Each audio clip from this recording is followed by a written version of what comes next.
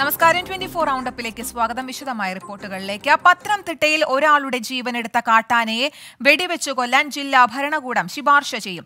നാട്ടുകാരും ജനപ്രതിനിധികളും ഉദ്യോഗസ്ഥരും പങ്കെടുത്ത യോഗത്തിലാണ് തീരുമാനം. കർഷകർക്കെതിരെ കള്ളക്കേസ് കള്ളക്കേസെടുക്കുന്നുവെന്ന ആരോപണം നേരിടുന്ന ഡെപ്യൂട്ടി റേഞ്ച് ഓഫീസർക്കെതിരെ നടപടിയെടുക്കും. ഇതുൾപ്പെടെ ഏഴ് ആവശ്യങ്ങൾ അംഗീകരിച്ചെന്ന് ആന്റോ ആന്റണി എം അറിയിച്ചു. ബിജുവിന്റെ കുടുംബാംഗങ്ങൾക്കുള്ള നഷ്ടപരിഹാരത്തിന്റെ പത്ത് ലക്ഷം ആദ്യ ഗഡു പത്ത് ലക്ഷം. ഇന്ന് തന്നെ ആ നഷ്ടപരിഹാരം വിതരണം ചെയ്യും. അക്രമകാരിയായ വന്യമൃഗം എന്ന നിലയിൽ ഇതിനെ വെടിവെച്ചു കൊല്ലാനുള്ള ശുപാർശ ജില്ലാ ഭരണകൂടം ഇന്ന് തന്നെ അത് അത് മുകളിലേക്ക് അയക്കും. ഇവിടുത്തെ കർഷകർക്ക് നിരന്തരമായി അവരെ കള്ളക്കേസെടുത്ത് ബുദ്ധിമുട്ടിക്കുന്ന ഇവിടുത്തെ ഡെപ്യൂട്ടി റേഞ്ച് ഓഫീസറെ ഇന്ന് തന്നെ നിർബന്ധിത അവധിയെടുക്കും ഈ പ്രദേശവാസികളായ വനവും നാടും തിരിച്ചറിയുന്ന ആളുകളെ താൽക്കാലികമായി വരുന്ന രണ്ട് മാസക്കാലത്തേക്ക് അവരെ വാച്ചർമാരായി നിയോഗിക്കുന്നതാണ്. സോളാർ ഫെൻസിങ് വെക്കുക മാത്രമല്ല അതുകൊണ്ട് മെയിന്റെയിൻ ചെയ്യാനുള്ള ഉത്തരവാദിത്വം ഇത്രയും കാര്യങ്ങൾ അക്കാര്യത്തിൽ തീരുമാനമെടുക്കുന്നുണ്ട് കൂടുതൽ വിവരങ്ങളുമായി ടോബി ജോൺസൺ ചേരുന്നുണ്ട്. ടോബി ഏതൊക്കെ ഏഴ് ആവശ്യങ്ങളാണ് ഈ ചർച്ചയിൽ അംഗീകരിച്ചത്? എന്തൊക്കെയാണ് ചർച്ചയ്ക്ക് ശേഷം ലഭിക്കുന്ന വിവരങ്ങൾ?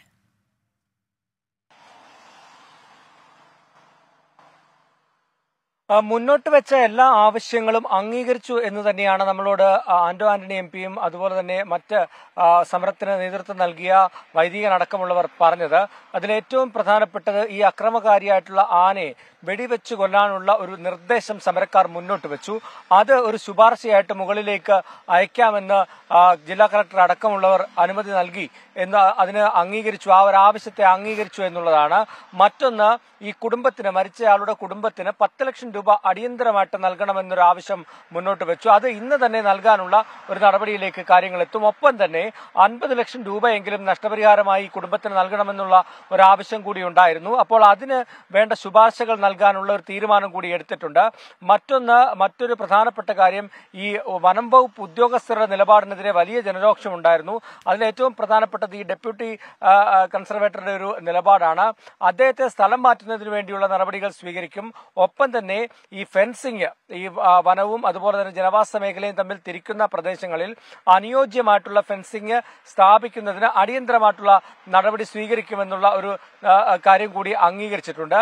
കൂടാതെ ഈ ഈ പ്രദേശം അറിയാവുന്ന ആളുകളെ ഈ ഇവിടുത്തെ ജോലികളിൽ വനംവകുപ്പിന്റെ ജോലികളിൽ ഉൾപ്പെടുത്താൻ വേണ്ടിയുള്ള ഒരു നിലപാടുണ്ടാകും. ഒപ്പം തന്നെ ഈ ഇന്ന് മരിച്ച ആളുടെ ഒരു കുടുംബത്തിലെ ഒരാൾക്ക് ഉടൻ തന്നെ ഒരു താൽക്കാലിക ജോലി നൽകും. അതോടൊപ്പം തന്നെ അത് സ്ഥിരമായി ജോലി നൽകുന്നതിന് വേണ്ടിയുള്ള നടപടികളിലേക്ക് കടക്കും. അങ്ങനെ ഏഴ് കാര്യങ്ങളാണ് ഇന്നത്തെ ഈ സമരക്കാർ മുന്നോട്ട് വെച്ച ആവശ്യം. ആ ഏഴ് ആവശ്യങ്ങളും അംഗീകരിച്ചിട്ടുണ്ട്.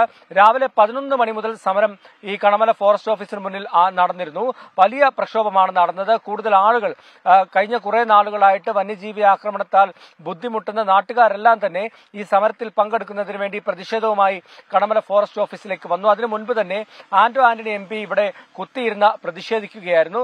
എന്തായാലും നിലവിൽ താൽക്കാലികമായ ഒരു പരിഹാരം ഉണ്ടായി എന്ന് വേണമെങ്കിൽ നമുക്ക് പറയാം. പക്ഷേ ഈ ആവശ്യങ്ങൾ അംഗീകരിച്ചില്ലെങ്കിൽ വലിയൊരു പ്രക്ഷോഭത്തിലേക്ക് പോകുമെന്നുള്ളൊരു പത്തനംതിട്ട കണമനയിൽ കാട്ടാൻ ആക്രമണത്തിൽ ഒരാൾ കൊല്ലപ്പെട്ട സംഭവത്തിൽ പ്രതിഷേധം അവിടെ അവസാനിച്ചിരിക്കുകയാണ്. ഏഴ് ആവശ്യങ്ങൾ അംഗീകരിച്ചതോടെയാണ് പ്രതിഷേധം അവസാനിപ്പിച്ചത്. ടോബി ജോൺസണാണ് വാർത്തയുടെ കൂടുതൽ വിശദാംശങ്ങൾ നൽകിയത്. മറ്റൊരു വാർത്തയിലേക്ക്. മദ്യനയ അഴിമതി കേസിൽ കോടതി ജുഡീഷ്യൽ കസ്റ്റഡിയിൽ വിട്ട ഡൽഹി മുഖ്യമന്ത്രി അരവിന്ദ് കെജ്രിവാളിനെ തിഹാർ ജയിലിലേക്ക് കൊണ്ടുപോയി. ഈ മാസം പതിനഞ്ച് വരെയാണ് റൌസ് അവന്യൂ കോടതി കെജ്രിവാളിനെ ജുഡീഷ്യൽ കസ്റ്റഡിയിൽ വിട്ടത്. ആർ അച്യുതൻ കൂടുതൽ വിശദാംശങ്ങളുമായി അച്യുതൻ വിശദാംശങ്ങൾ.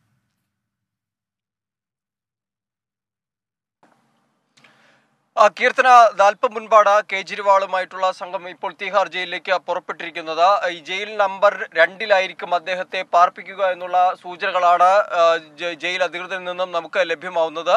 നേരത്തെ അവിടെ ഉണ്ടായിരുന്ന സഞ്ജയ് സിംഗിനെ ഇപ്പോൾ ജയിൽ നമ്പർ അഞ്ചിലേക്ക് മാറ്റിയതായും അറിയിക്കുന്നുണ്ട്. എന്തായാലും ഇന്ന് കോടതിയിൽ അദ്ദേഹത്തെ ഹാജരാക്കുമ്പോൾ ഇ ഡി അറിയിച്ചത്. ഈ അന്വേഷണത്തോട് സഹകരിക്കുന്നില്ല. പാസ്വേഡ് നൽകാൻ ആവശ്യപ്പെട്ടെങ്കിലും അത് നൽകിയിട്ടില്ല. അതുകൊണ്ട് തന്നെ ജുഡീഷ്യൽ കസ്റ്റഡിയിൽ വിട്ടയക്കണമെന്നുള്ള ഒരു ആവശ്യമാണ് ഇ ഡി മുന്നോട്ട് വെച്ചത്. ആവശ്യം അംഗീകരിച്ചുകൊണ്ടാണ് റബുസോന്നി കോടതി അദ്ദേഹത്തെ ഈ വരു ഈ മാസം പതിനഞ്ചാം തീയതി വരെ പതിനാല് ദിവസത്തെ ജുഡീഷ്യൽ കസ്റ്റഡിയിലേക്ക് വിട്ടത്. അതേസമയത്ത് അദ്ദേഹത്തിന്റെ അഭിഭാഷകൻ കേജ്രിവാളിന്റെ അഭിഭാഷകൻ ചില അഭ്യർത്ഥനകൾ കോടതിക്ക് മുന്നിലേക്ക് വയ്ക്കുകയാണുണ്ടായത് അദ്ദേഹത്തിന് ജയിലിൽ മൂന്ന് പുസ്തകങ്ങളും അതുപോലെ തന്നെ ജപമാലയും മരുന്നും അനുവദിക്കണമെന്നൊരു ആവശ്യം മുന്നോട്ട് വച്ചു. എന്തായാലും അതിനെല്ലാം ഒടുവിലാണ് ഇപ്പോൾ പോലീസ് സംഘം അദ്ദേഹവുമായി കേജ്രിവാളുമായി ഇതാ ഇപ്പോൾ തീഹാർ ജയിലിലേക്ക് പുറപ്പെട്ടിരിക്കുന്നത്. അഞ്ചു മണിക്കകത്ത് അദ്ദേഹത്തെ തീഹാർ ജയിലിൽ എത്തിക്കുമെന്നുള്ള വിവരങ്ങളാണ് ലഭിക്കുന്നത്.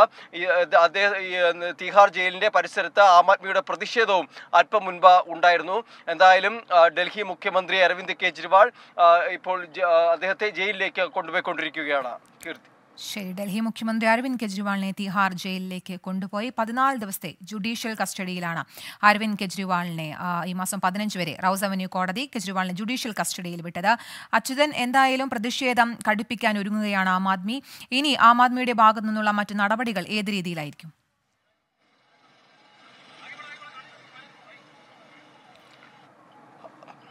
കീർത്തന പ്രത്യേകിച്ച് ആം ആദ്മി ഈ വിഷയത്തെ വലിയ പ്രചരണമാക്കി തന്നെയാണ് ഉയർത്തിക്കൊണ്ടുവരുന്നത്. സ്വാഭാവികമായിട്ടും ലോക്സഭാ തെരഞ്ഞെടുപ്പ് അടുത്തിരിക്കുന്ന ഘട്ടത്തിൽ അരവിന്ദ് കെജ്രിവാളിനെതിരായ ഇ ഡി നടപടി അത് ഈ പ്രതിപക്ഷ വേട്ടയാടൽ എന്ന രീതിയിൽ തന്നെയാണ് ആം ആദ്മി പാർട്ടി ഉയർത്തിക്കൊണ്ടുവരുന്നത്. നേരത്തെ ഇ ഡി കസ്റ്റഡിയിൽ വിട്ട സമയത്ത് വലിയ രീതിയിലുള്ള പ്രതിഷേധമാണ് ആം ആദ്മി പാർട്ടി കാഴ്ചവെച്ചത്. ഐ ടിയിലടക്കം ഇറങ്ങി പ്രതിഷേധിക്കുന്ന ഒരു സാഹചര്യമുണ്ട്. അതിനുശേഷം പ്രചരണത്തിന്റെ രീതി തന്നെ പാർട്ടി മാറ്റുകയുണ്ടായി നിശബ്ദ പ്രചാരണം പോലുള്ളവ സംഘടിപ്പിച്ചു. അതായത് ലഘുലേഖകൾ യാത്രക്കാർക്ക് വഴിയോരത്തെ ആളുകൾക്കും മറ്റും നൽകിയിരുന്നു. അതിനെല്ലാം പുറമെ തന്നെ ഡൽഹി മന്ത്രിമാർ നേരിട്ട് ഭവന സന്ദർശനങ്ങൾ നടത്തി വീടുതോറും കയറി ഇറങ്ങി ഈ ലഘുലേഖകൾ ഇ ഡിക്കെതിരായ ആരോപണങ്ങൾ ഉയർത്തിയുള്ള ഒപ്പം കേന്ദ്ര സർക്കാരിനെതിരെയുള്ള ആരോപണങ്ങൾ നിരത്തിയുള്ള ലഘുലേഖകൾ വിതരണം ചെയ്തിരുന്നു. ഇന്നലെയാണ് ഇന്ത്യ മുന്നണിയുടെ അരവിന്ദ് കേജ്രിവാളിനെതിരായി എതിരെയുള്ള ഇ ഡി നടപടിയിൽ പ്രതിഷേധിച്ച് ഇന്ത്യ മുന്നണി ഒരു മഹാറാലി രാംലീല മൈതാനത്ത് സംഘടിപ്പിച്ചത്. അതിൽ എല്ലാ പ്രതിപക്ഷ പാർട്ടികളുടെയും മുതിർന്ന നേതാക്കൾ തന്നെയാണ് പങ്കെടുത്തത്. അവരെല്ലാം ആവർത്തിച്ചത് പ്രതിപക്ഷ വേട്ടയാടലാണ് രാജ്യത്ത് നടക്കുന്നത്. അന്വേഷണ ഏജൻസികളെ ദുരുപയോഗം ചെയ്യുന്നു. ആ, അന്വേഷണ ഏജൻസികളെ ഉപയോഗിച്ചുകൊണ്ടാണ് കേന്ദ്ര സർക്കാർ തെരഞ്ഞെടുപ്പ് തെരഞ്ഞെടുപ്പിൽ വിജയം നേടുന്നത് എന്നതടക്കമുള്ള ആരോപണങ്ങൾ നിരത്തിയായിരുന്നു ആ മഹാറാലി സംഘടിപ്പിച്ചത്. എന്തായാലും ഇന്നിപ്പോൾ ഒടുവിൽ അരവിന്ദ് കെജ്രിവാളിനെ ജുഡീഷ്യൽ കസ്റ്റഡിയിലേക്ക് വിട്ടിരിക്കുകയാണ്. പതിനാല് ദിവസത്തെ ജുഡീഷ്യൽ കസ്റ്റഡിയിലാണ് വിട്ടിരിക്കുന്നത്. ഒപ്പം ഇനി കെജ്രിവാൾ നിർണായകമായി തീരുന്ന ദിവസം അത് ഈ മാസം മൂന്നാം തീയതിയാണ് അദ്ദേഹത്തിന്റെ ഹർജി വീണ്ടും പരിഗണനയിൽ വരുന്നുണ്ട്. ഇതിൽ ഇ ഡിയോട് ഈ മറുപടി അറിയിക്കുവാൻ കൂടിയുള്ള നിർദ്ദേശം കോടതിയുടെ ഭാഗത്തു നിന്ന് കഴിഞ്ഞ തവണ പരിഗണിച്ചപ്പോൾ ഉണ്ടായിട്ടുണ്ട്. അങ്ങനെ എല്ലാം എല്ലാം പരിഗണിച്ചുകൊണ്ട് ഏപ്രിൽ മൂന്നിന് എന്തായാലും കേജ്രിവാളിന്റെ ഹർജി ഡൽഹി ഹൈക്കോടതിയിൽ വീണ്ടും വരികയാണ്. എന്തായാലും അതിനിടയിലാണ് ഇപ്പോൾ ജുഡീഷ്യൽ കസ്റ്റഡിയിലേക്ക് കൂടി വിട്ടിരിക്കുന്നത്. വലിയ രീതിയിലുള്ള പ്രചരണം. അത് ആം ആദ്മിയുടെ ഭാഗത്ത് നിന്ന് ഇതിനെ ഒരു രാഷ്ട്രീയ പ്രചരണമാക്കി തന്നെയാണ് ഉയർത്തിക്കൊണ്ടുവരുന്നത്. ശരി മദ്യനയ അഴിമതി കേസിൽ കോടതി ജുഡീഷ്യൽ കസ്റ്റഡിയിൽ വിട്ട ഡൽഹി മുഖ്യമന്ത്രി അരവിന്ദ് കെജ്രിവാളിനെ തിഹാർ ജയിലിലേക്ക് കൊണ്ടുപോയിരിക്കുകയാണ്. ആർ അച്യുതനാണ് വാർത്തയുടെ കൂടുതൽ വിശദാംശങ്ങൾ നൽകിയത്. ഗ്യാൻവാപ്പി മസ്ജിദിൽ ഹിന്ദു വിഭാഗത്തിന് പൂജയ്ക്കുള്ള അനുമതി റദ്ദാക്കണമെന്ന ആവശ്യം അംഗീകരിക്കാതെ സുപ്രീം കോടതി അലഹബാദ് ഹൈക്കോടതി ഉത്തരവിനെതിരെ മസ്ജിദ് കമ്മിറ്റി നൽകിയ ഹർജിയിലാണ് തീരുമാനം. ഇരു സമുദായങ്ങൾക്കും ആരാധന നടത്താൻ കഴിയുന്ന തരത്തിൽ തൽസ്ഥിതി തുടരണമെന്ന് സുപ്രീം കോടതി നിർദ്ദേശിച്ചു. ബൽറാം നെടുങ്ങാടിയുണ്ട് കൂടുതൽ വിശദാംശങ്ങളുമായി. ബൽറാം എന്താണ് സുപ്രീം കോടതി നിർദ്ദേശങ്ങൾ? കീർത്തന ഗ്യാൻവാബി മസ്ജിദിലെ വ്യാസ് തെഹഖാനയിൽ ഹിന്ദു വിഭാഗത്തിന് പൂജ നടത്താൻ അനുമതി നൽകിയ വാരണാസി ജില്ലാ കോടതിയുടെ ഉത്തരവ് അലഹബാദ് ഹൈക്കോടതി ശരിവച്ചിരുന്നു. എന്നാൽ ഈ അലഹബാദ് ഹൈക്കോടതിയുടെ ഈ നടപടിക്ക് എതിരായാണ് സുപ്രീം കോടതിയിൽ ഹർജി സമർപ്പിക്കപ്പെട്ടത്. ഈ ഹർജി പരിഗണിച്ചുകൊണ്ടാണ് സുപ്രീം കോടതി അലഹബാദ് ഹൈക്കോടതിയുടെ ഉത്തരവ് സ്റ്റേ ചെയ്യാൻ വിസമ്മതിക്കുകയും അതായത് അലഹബാദ് ഹൈക്കോടതിയുടെ വിധി ശരിവയ്ക്കുകയായിരുന്നു ഹിന്ദു വിഭാഗത്തിന് വ്യാസ് തെഹ്കയിൽ പൂജ നടത്താൻ അനുമതി നൽകുകയാണ് സുപ്രീം കോടതി ചെയ്തിരിക്കുന്നത്. ഇരു വിഭാഗത്തിനും നിബന്ധനകൾക്ക് വിധേയമായി തന്നെ തങ്ങളുടെ മത ആരാധന നടത്താൻ ഉള്ള നിർദ്ദേശമാണ് സുപ്രീം കോടതി നൽകിയിരിക്കുന്നത്. ഈ ആരാധന നട ഹിന്ദു വിഭാഗത്തിന് പൂജ നടത്താൻ നൽകിയുള്ള ഉത്തരവിനെ ചോദ്യം ചെയ്ത് അത് തടയണം എന്ന ആവശ്യം സുപ്രീം കോടതി നിരാകരിച്ചിരിക്കുകയാണ്. നിലവിൽ ഇപ്പോൾ ഇരു വിഭാഗത്തിനും നിബന്ധനകൾക്ക് വിധേയമായി ഈ ആരാധനാലയത്തിൽ തങ്ങളുടെ ആരാധന നടത്താനുള്ള അവകാശം ഉണ്ടാകും എന്നാണ് സുപ്രീം കോടതി വ്യക്തമാക്കിയിരിക്കുന്നത്. കീർത്തന. ശരി ഗ്യാൻവാപ്പി മസ്ജിദിൽ ഹിന്ദു വിഭാഗത്തിന് പൂജ തുടരാം. ഇരു സമുദായങ്ങൾക്കും ആരാധന നടത്താൻ കഴിയുന്ന തരത്തിൽ തൽസ്ഥിതി തുടരണമെന്ന് സുപ്രീം കോടതി നിർദ്ദേശിച്ചു. ബൽറാം നെടുങ്ങാടിയാണ് വാർത്തയുടെ കൂടുതൽ വിശദാംശങ്ങൾ നൽകിയത്. മറ്റു വാർത്തകൾ നോക്കാം. ഒരു ഇടവേളയ്ക്ക് ശേഷം. തിരുവനന്തപുരം വെള്ളറടയിലെ അഭയ കേന്ദ്രത്തിൽ ഓട്ടിസം ബാധിതനായ പതിനാറുകാരനെ മർദ്ദനമേറ്റ സംഭവത്തിൽ അന്വേഷണത്തിന് ഉത്തരവിട്ട് മന്ത്രി ആർ ബിന്ദു. രണ്ടു ദിവസത്തിനകം റിപ്പോർട്ട് നൽകാൻ സാമൂഹ്യനീതി വകുപ്പ് ഡയറക്ടറോട് നിർദ്ദേശിച്ചു. എ. വിജയശങ്കർ കൂടുതൽ വിശദാംശങ്ങളുമായി. ജയശങ്കർ വിവരങ്ങൾ. അതായത് തിരുവല്ലയിലെ സ്നേഹഭവനിൽ കന്യാസ്ത്രീകൾ ഓട്ടിസം ബാധിച്ച കുട്ടിയെ മർദ്ദിച്ചു എന്നായിരുന്നു പരാതി. ഈ പരാതിയിൽ പോലീസ് ആ, കന്യാസ്ത്രീകൾക്കെതിരെയും ഒപ്പം കോളേജിലെ സ്ഥാപനത്തിലെ പ്രിൻസിപ്പാളിനെതിരെയും ഒരു ജീവനക്കാരിക്കെതിരെയും കേസെടുത്തിരുന്നു. ഇതിന് പിന്നാലെയാണ് ഈ വിഷയത്തിൽ മന്ത്രി ആർ ബിന്ദുവിന്റെ ഇടപെടൽ. ഇതുമായി ബന്ധപ്പെട്ട അന്വേഷണം നടത്തി സാമൂഹ്യനീതി വകുപ്പ് ഡയറക്ടറോട് റിപ്പോർട്ട് സമർപ്പിക്കാനാണ് മന്ത്രി നിർദ്ദേശിച്ചിരിക്കുന്നത്. ആ രണ്ട് ദിവസത്തിനുള്ളിൽ റിപ്പോർട്ട് സമർപ്പിക്കണമെന്നാണ് മന്ത്രിയുടെ നിർദ്ദേശം എന്തായാലും ട്വന്റി ഫോർ കൊണ്ടുവന്ന ഒരു വാർത്തയായിരുന്നു. ഈ വാർത്ത ആദ്യമായി നൽകുന്നത് ട്വന്റി ഫോർ ആയിരുന്നു. ട്വന്റി ഫോർ വാർത്തയിലാണ് മന്ത്രിയുടെ ഇടപെടൽ. എന്തായാലും ഇത്തരം സംഭവങ്ങൾ ആവർത്തിക്കാൻ അനുവദിക്കില്ല എന്നാണ് ആ മന്ത്രിയുടെ ഓഫീസും വ്യക്തമാക്കുന്നത്. എന്തായാലും ഈ വിഷയത്തിൽ സാമൂഹ്യനീതി വകുപ്പ് ഡയറക്ടർ രണ്ട് ദിവസത്തിനകം മന്ത്രിക്ക് റിപ്പോർട്ട് നൽകും. പോലീസും ഈ വിഷയവുമായി ബന്ധപ്പെട്ട നടപടികളുമായി മുമ്പോട്ട് പോകുന്നുണ്ട്.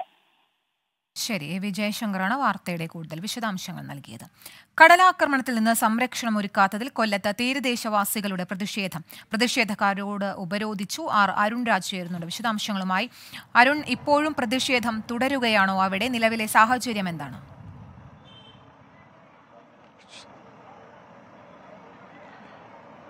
പ്രതിഷേധം ഇപ്പോഴും തുടരുകയാണ്. ഈ വിഷയത്തിൽ പ്രധാനമായും കളക്ടറുടെ ഭാഗത്ത് നിന്ന് അടിയന്തരമായ ഇടപെടൽ ഉണ്ടാകണം എന്നുള്ളതാണ് നിലവിൽ ഈ തീരദേശവാസികൾ മുന്നോട്ട് വെക്കുന്ന ആവശ്യങ്ങളിലൊന്ന് അല്പസമയം മുമ്പ് കളക്ടറുമായി ഒരു കൂടിക്കാഴ്ച നടത്തിയിരുന്നു.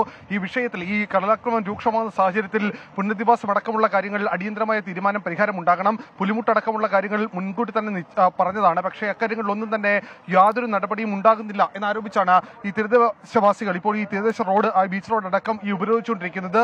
കഴിഞ്ഞ ഒരു ആറ് ആറ് മണിക്കൂറിലധികമായി ഈ ഉപരോധം തുടരുന്നുണ്ട്. പല ഭാഗങ്ങളിൽ നിന്നാണ് ഉപരോധം തുടങ്ങിയത്. പക്ഷേ ഇപ്പോഴത് ഈ നഗരത്തിന്റെ പ്രധാന കേന്ദ്രങ്ങളിലേക്ക് എത്തി നിൽക്കുന്ന സ്ഥിതിയാണ് ഉണ്ടായിട്ടുള്ളത്.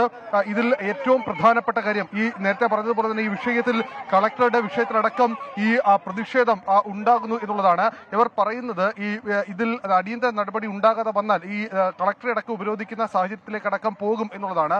പക്ഷേ അതിൽ ഏതൊക്കെ രീതിയിൽ ഇനി കളക്ടറുടെ ഭാഗത്തുനിന്ന് അതുപോലെ തന്നെ ജില്ലാ ഭരണകൂടം അടക്കം ഏതൊക്കെ രീതിയിൽ ഇടപെടും എന്നുള്ളത് പ്രധാനമായൊരു പ്രധാനമായ ഒരു വെല്ലുവിളിയായി നിൽക്കുകയാണ്. കാരണം തെരഞ്ഞെടുപ്പ് അടക്കമുള്ള കാര്യങ്ങളുണ്ട്. ഉദ്യോഗസ്ഥരടക്കം വിവിധ തലങ്ങളിൽ വിവിധ മീറ്റിങ്ങുകളിലടക്കമാണ് എന്നുള്ളതാണ് കളക്ടർ ഇവർക്ക് നൽകിയിരിക്കുന്ന കാര്യം. മൂന്ന് ദിവസത്തിനകം ഈ വിഷയത്തിൽ ഒരു പരിഹാരത്തിലേക്ക് അടക്കം കാര്യങ്ങൾ പോകാമെന്ന് കളക്ടർ പറയുന്നുണ്ട്. പക്ഷെ അതല്ല അടിയന്തരമായ ഒരു പരിഹാരം വേണം. കാരണം കിടക്കാൻ സ്ഥലമില്ല. ഈ പല സ്ഥലങ്ങളും പൂർണമായി നിലംപൊത്തി പല വീടുകളിലടക്കം ഇപ്പോഴും ജീവിക്കാൻ കഴിയാത്ത സാഹചര്യമുണ്ട്. അതുകൊണ്ട് തന്നെ വിഷയത്തിലൊരു പരിഹാരമാണ് ഇവർ ആവശ്യപ്പെടുന്നത്. എന്തായാലും ഈ സമരം തുടരുമ്പോൾ പോലും ജില്ലാ ഭരണകൂടത്തിന്റെ ഭാഗത്തുനിന്ന് ഒരാൾ പോലും ഇവിടേക്ക് എത്തിയിട്ടില്ല. ഇതുവരെ ഇവരുമായി സംസാരിക്കാൻ പോലും ജില്ലാ ഭരണകൂടത്തിന്റെ ഭാഗത്തു നിന്ന് ആരും തയ്യാറായിട്ടില്ല എന്നുള്ളത് മറ്റൊരു വസ്തുതയെ നിലനിൽക്കുന്നുണ്ട്. എന്തായാലും ഈ സമരം ഇങ്ങനെ തുടരുകയാണ്. ഈ ഈ നട്ട് ഈ വെയിലത്ത് പോലും ഈ റോഡിലേക്ക് ഇറങ്ങിയുള്ള സമരത്തിലേക്കാണ് ഇപ്പോൾ അവർ പോകുന്നത്. ശരി കടലാക്രമണത്തിൽ നിന്ന് സംരക്ഷണം ഒരുക്കാത്തതിൽ കൊല്ലത്ത് തീരവാസികൾ റോഡ് ഉപരോധിച്ച് പ്രതിഷേധിക്കുകയാണ് ആർ അരുൺ രാജാണ് വാർത്തയുടെ കൂടുതൽ വിശദാംശങ്ങൾ നൽകിയത്.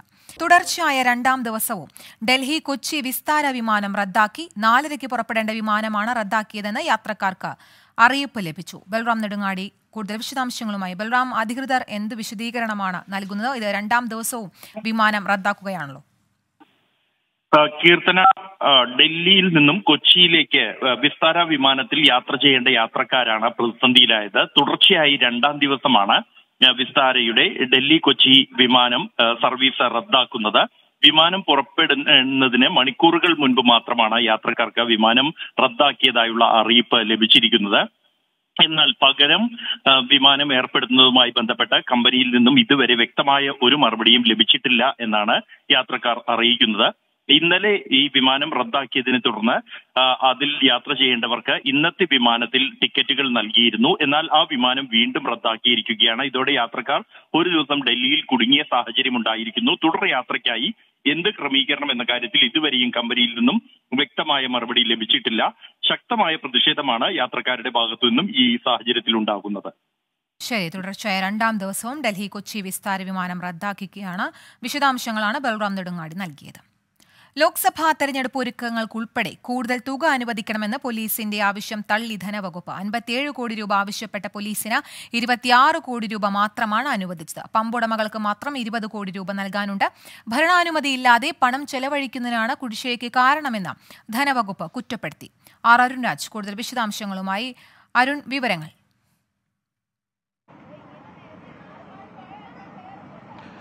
ലോക്സഭാ തെരഞ്ഞെടുപ്പിന് മുന്നോടിയായി അൻപത്തിയേഴ് കോടി രൂപ സംസ്ഥാന പോലീസിന്റെ ആ, വിവിധ ആവശ്യങ്ങൾക്കായി നൽകണമെന്നായിരുന്നു സംസ്ഥാന പോലീസ് മേധാവി ധനവകുപ്പിനോട് ആവശ്യപ്പെട്ടത്. ഈ വിവിധ ഘട്ടങ്ങളിലായി പോലീസിന് ഈ തുക അനിവാര്യമാണെന്നും ഉദ്യോഗസ്ഥരുടെ ചെലവ് അതുപോലെ തന്നെ പോലീസ് സ്റ്റേഷനുകളുടെ സുരക്ഷ അടക്കമുള്ള കാര്യങ്ങൾക്ക് അൻപത്തിയേഴ് കോടി രൂപയെങ്കിലും നൽകാതെ മുന്നോട്ട് പോകാൻ കഴിയില്ല എന്നത് ആവശ്യപ്പെട്ടാണ് ധനകാര്യ വകുപ്പിനെ സമീപിച്ചത്. പക്ഷേ ഇത്രയധികം തുക നൽകാൻ കഴിയില്ല എന്നുള്ള ഒരു തീരുമാനമാണ് ഇപ്പോൾ ധനവകുപ്പിന്റെ ഭാഗത്തുനിന്ന് കൈക്കൊണ്ടിട്ടുള്ളത്. വലിയ സാമ്പത്തിക പ്രതിസന്ധി നിലവിൽ നിൽക്കുന്നുണ്ട്. ഈ ഘട്ടത്തിൽ പോലീസിന് മാത്രമായി അൻപത്തിയേഴ് കോടി രൂപ നൽകുക എന്നുള്ളത് ഒരു ഘട്ടത്തിലും അനുവദിക്കാൻ കഴിയില്ല. ചെലവുകൾ ചുരുക്കണമെന്ന് നിർദ്ദേശിക്കുന്നതിനൊപ്പം ഈ മുൻകൂട്ടി ഭരണാനുമതി ഇല്ലാതെ ഇത്തരം പണം ഇത്തരം പണം ഉപയോഗം നടത്തരുത് എന്ന നിർദ്ദേശം കൂടി ഈ ധനവകുപ്പിന്റെ ഭാഗത്തുനിന്നുണ്ടാകുന്നു. എന്തായാലും ലോക്സഭാ തെരഞ്ഞെടുപ്പിലേക്ക് സംസ്ഥാനം കടക്കുമ്പോൾ വലിയ രീതിയിലുള്ള സാമ്പത്തിക പ്രതിസന്ധി ഉണ്ട് എന്ന് വ്യക്തമാക്കുന്നതാണ് ധനകാര്യ വകുപ്പിന്റെ പുതിയ ഉത്തരവ്. ശരി ആർ അരുൺരാജാണ് വാർത്തയുടെ കൂടുതൽ വിശദാംശങ്ങൾ നൽകിയത്. മറ്റു വാർത്തയിലേക്ക്. ബലാത്സംഗ കേസിൽ വ്യാജരേഖ ഹാജരാക്കി മുൻകൂർ ജാമ്യം നേടിയ സംഭവത്തിൽ ഹൈക്കോടതി ഇടപെടൽ. മലയൻകീഴ് മുൻ എസ് എച്ച്ഒ എ വി സൈജുവിന്റെ ജാമ്യം റദ്ദാക്കി. ജി ഡി രജിസ്റ്ററിൽ സൈജു തിരുത്തൽ വരുത്തിയെന്നാണ് ക്രൈംബ്രാഞ്ചിന്റെ കണ്ടെത്തൽ. വിനീത വി ജി കൂടുതൽ വിശദാംശങ്ങളുമായി. വിനീത ക്രൈംബ്രാഞ്ച് കണ്ടെത്തലിൽ ഇപ്പോൾ എന്ത് നടപടിയാണ് ഹൈക്കോടതിയുടെ ഭാഗത്തു നിന്നുണ്ടായിട്ടുള്ളത് ആ, ബലാത്സംഗ കേസിൽ വ്യാജരേഖ ഹാജരാക്കി മുൻകൂർ ജാമ്യം നേടിയ കേസിലാണ് ഇപ്പോൾ ഈ ഹൈക്കോടതിയുടെ നടപടി ഉണ്ടായിരിക്കുന്നത്. മലയങ്കീഴ മുൻ എസ് എച്ച്ഒ എ വി സൈജുവിന്റെ ജാമ്യം ഹൈക്കോടതി റദ്ദാക്കിയിരിക്കുകയാണ്. ജസ്റ്റിസ് പി ഗോപിനാഥാണ് ജാമ്യം റദ്ദാക്കിയത്. ബലാത്സംഗ കേസിലെ പരാതിക്കാരിയായ ഡോക്ടറുടെ ഹർജിയിലാണ് ഇപ്പോൾ ഹൈക്കോടതി നടപടിയെടുത്തിരിക്കുന്നത് സൈജു ഈ രജിസ്റ്ററിൽ തിരുത്തൽ വരുത്തിയെന്ന് ക്രൈംബ്രാഞ്ചും കോടതിയെ അറിയിച്ചിരുന്നു. ഇതിന് പിന്നാലെയാണ് നടപടി. ശരി വിനീത വിജി കൊച്ചിയിൽ നിന്ന്. കേന്ദ്ര സാഹിത്യ അക്കാദമിയുടെ വിശിഷ്ടാംഗത്വം രാജിവെച്ച് സി രാധാകൃഷ്ണൻ. സാഹിത്യവുമായി ഒരു ബന്ധവുമില്ലാത്ത കേന്ദ്രമന്ത്രി അക്കാദമി ഫെസ്റ്റിവൽ ഉദ്ഘാടനം ചെയ്തത് അംഗീകരിക്കാനാവില്ലെന്ന് രാജിക്കത്തിൽ സി രാധാകൃഷ്ണൻ വ്യക്തമാക്കി. സാംസ്കാരിക സ്ഥാപനങ്ങളിൽ രാഷ്ട്രീയം കടന്നുകൂടുന്നത് അപകടകരമാണെന്ന് സി രാധാകൃഷ്ണൻ പ്രതികരിച്ചു. ഇന്ത്യയിൽ ആകെയുള്ള ഒരു ഡെമോക്രാറ്റിക് ബോഡിയാണ് കൾച്ചറൽ ഫീൽഡിൽ ഈ സാഹിത്യ അക്കാദമി. സംഗീതനാടക അക്കാദമി ലളിതകല അക്കാദമി ഇത് രണ്ട് അക്കാദമികൾ അത് രണ്ടും അഡ്ഹോക്ക് അക്കാഡമികളായിട്ട് മാറി നോമിനേഷനിലാണ് നടന്നു പോണത്. രാജ്യം രണ്ടിനും ഇതേ ഭരണഘടന ഉണ്ടായിരുന്നതാണ്. അപ്പോൾ ഭരിക്കുന്നവർ വിചാരിച്ചാൽ ഈ ഭരണഘടന തള്ളിയിട്ട് അവിടെയും അതുപോലെ ഒരു അഡ്ഹോക്ക് ഭരണം ഉണ്ടാക്കാൻ കഴിയും. അങ്ങനെ വരുമ്പോൾ ഇന്ത്യയിലുള്ള ഏക സാംസ്കാരിക സ്ഥാപനം ഡെമോക്രസി നഷ്ടപ്പെട്ടു പോയി. പഴയ ഇതിന്റെയൊക്കെ രൂപത്തിലായി തീരുകയും ചെയ്യും. പിന്നെ എഴുത്തുകാർക്ക് അതുകൊണ്ട് വലിയ പ്രയോജനമൊന്നും ഉണ്ടാവാനുള്ള ഒരു സാധ്യതയും ഞാൻ കാണാനില്ല അപ്പം അങ്ങനെ നോക്കുമ്പോൾ എന്താ ചെയ്യേണ്ടതെന്ന് ആലോചിച്ചപ്പോൾ ഇത് എല്ലാവരുടെയും മുമ്പിൽ കൊണ്ടുവരാനുള്ള ഒരു മാർഗം പറയാതെ വയ്യ എന്ന് വന്നപ്പോഴാണ് ഞാൻ ഈ എന്റെ ഈ എബിനന്റ് മെമ്പർഷിപ്പ് രാജിവെക്കാൻ തീരുമാനിച്ച് കത്ത് എഴുതി അയച്ചത്. ഇനി ഇന്നത്തെ നോമ്പ് തുറ സമയം.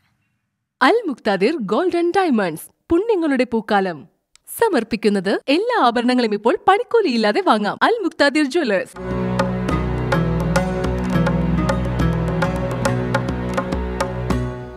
Al Muqtadir golden diamonds. നോമ്പുതുറ സമയം. സമർപ്പിക്കുന്നത് എല്ലാ ആഭരണങ്ങളും ഇപ്പോൾ പണിക്കൂലിയില്ലാതെ വാങ്ങാം. Al Muqtadir jewellers.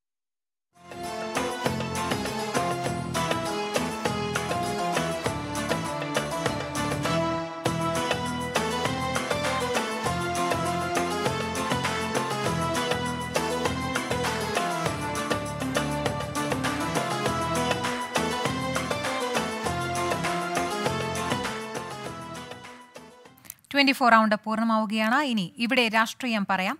Hashmi Taj Ibrahim ചേരും. നമസ്കാരം.